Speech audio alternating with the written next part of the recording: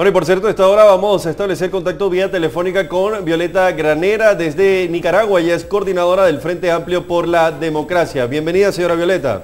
Muchas gracias, Gustavo, a la orden. Muchas gracias por esta entrevista. Fíjese, estábamos viendo todas las visitas que ustedes desarrollaron en las últimas horas en los Estados Unidos, reuniéndose eh, con eh, senadores, también con eh, miembros de la Cámara de Representantes y con las autoridades de la Organización de Estados Americanos en esta jornada en donde ustedes insisten en que es necesario que se destituya completamente al magistrado presidente Roberto Rivas de, eh, bueno, lo que es el Consejo Supremo Electoral y además están impulsando una serie de reformas electorales. ¿Puede hablarme de eh, cómo fue esta gira, esta gira que ustedes tuvieron? Sí, bueno, fue una gira muy importante por varias razones. En primer lugar, estuvimos en un foro impulsado por el Instituto Internacional por la Democracia, donde participaron académicos y políticos y lo importante para nosotros es que hubo pudimos constatar que hay un amplio consenso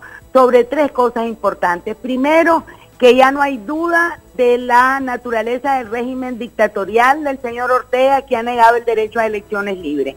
Eh, eso quedó absolutamente claro y está respaldado por informes de, de, todos los organismos de observación que han venido en las últimas elecciones a observar los fraudes electorales. Pero también que, eh, hay un gran consenso en que Nicaragua se ha convertido en una plataforma de lavado de dinero del crimen organizado a través de los vínculos con el dinero de la FARC y con, Albani, eh, con, con, el petróleo de Venezuela y la subsidiaria Albaniza y la subsidiaria El Salvador.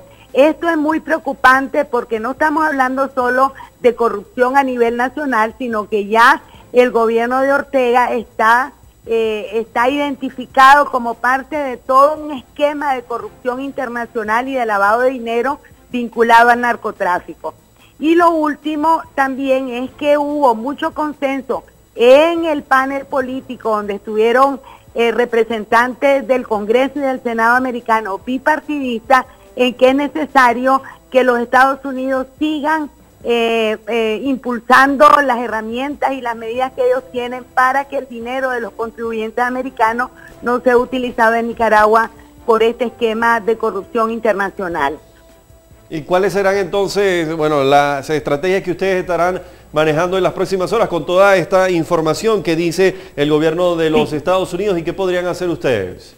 Bueno, nosotros estamos trabajando, realmente eh, nosotros estamos claros que la mayor responsabilidad y el mayor peso en esta lucha que tenemos que dar a lo más pronto posible por elecciones libres nos corresponde a nosotros.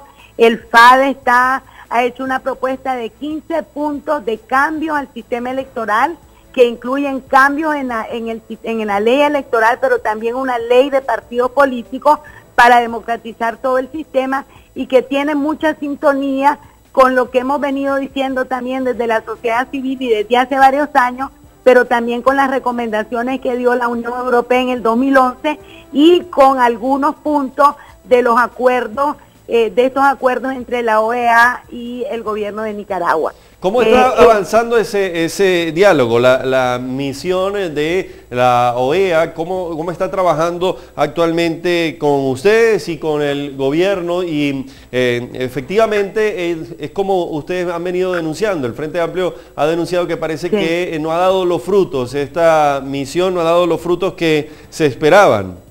Definitivamente que no ha dado los frutos que se esperaban y una de las razones de nuestra visita en esta ocasión a la OEA fue plantearle las preocupaciones, reiterarle las preocupaciones que tenemos sobre eh, una falta de transparencia en las relaciones que ha tenido OEA hasta ahora con el gobierno. Nosotros a la fecha no conocemos el informe de, los fraudes pasados y la relación ha sido muy eh, secreta y muy bilateral únicamente con el gobierno de Ortega. Lo que le estamos pidiendo a la OEA y para lo que nos estamos preparando es que se abran estas conversaciones a todos los sectores, no solo al FAD, a todos los sectores de la sociedad civil nicaragüense que tienen algo que decir sobre, sobre los problemas electorales y es la razón por la cual nosotros estamos al mismo tiempo impulsando un proceso para llegar a un consenso nacional con todos los sectores sobre lo que necesita Nicaragua para poder tener elecciones libres y transparentes a la mayor brevedad posible. Señora Violeta, con toda esta información, esos aportes que nos habla de la situación, por ejemplo, de los eh, presuntos vínculos del gobierno de Daniel Ortega con el narcotráfico y con el lavado de dinero, está previsto que el gobierno de los Estados Unidos emita unas nuevas sanciones a funcionarios públicos. Absolutamente, la percepción y la información que tenemos es que la aplicación especialmente de la, de la ley Magnitsky, que, está, que ya como todos sabemos ya ha sancionado al presidente, al que fue, al que es presidente todavía del Consejo Supremo Electoral, va a continuar. Y los congresistas en el foro y en reuniones también nos expresaron que ellos van a usar todas las herramientas, incluyendo la famosa NICAD, que ya está en el Senado, pero que todavía no ha sido aprobada. Nosotros creemos, repito, que la responsabilidad mayor está aquí en Nicaragua, estamos trabajando fuertemente para lograr eh, revertir esta, eh, eh, esta deriva autoritaria de Daniel Ortega, pero sin lugar a duda, como en todas las luchas contra la dictadura, necesitamos la solidaridad y el apoyo de la comunidad internacional. Nosotros creemos que a, a, mediados de este año vamos a conocer otros sancionados por parte del gobierno americano. Sí, también quería preguntarle sobre eh, la reciente, los recientes casos de violaciones de derechos humanos. ¿Cómo están manejando eso? Tenemos información, lo habíamos visto también en, sus redes sociales, en los medios en, Nicaragua, que revelan como el caso de un, el abuso policial contra un joven, el que, bueno, perdió hasta las piernas. ¿Podría explicarnos eso? Sí, es que el problema que estamos enfrentando con esta dictadura de Ortega no tiene únicamente que ver con los derechos civiles y políticos que están totalmente violentados desde, desde el 2008 aquí no han habido elecciones libres y transparentes, pero tiene que ver con un derecho que es mucho más fundamental, que es el derecho a la vida. Nosotros hemos llevado, y en este viaje lo hicimos, eh, denuncias de más de 27 casos recogidos por organismos de derechos humanos de asesinatos selectivos, especialmente en el norte de Nicaragua, entre los campesinos. Y los últimos casos en los que hicimos énfasis en este viaje es el caso de la masacre de la Cruz de Río Grande, que fue una masacre perpetrada por el ejército de Nicaragua, donde mataron a dos niños menores, los fueron enterrados en una fosa común, la madre está pidiendo justicia y que le devuelvan los cuerpos de sus hijos para poderlos enterrar y después de tres meses no ha habido ninguna investigación ni ninguna respuesta de parte de la policía y del ejército. Ellos han ofrecido que van a entregar los cuerpos, pero no lo hacen. Luego tenemos el caso de otro joven, Mixon Zambrana, de Río Blanco, en el norte de Nicaragua, que fue, murió hace menos de 10 días eh, eh, por causa de un crimen, de un crimen eh, efectuado por unos encapuchados y todavía tampoco ha habido ninguna investigación.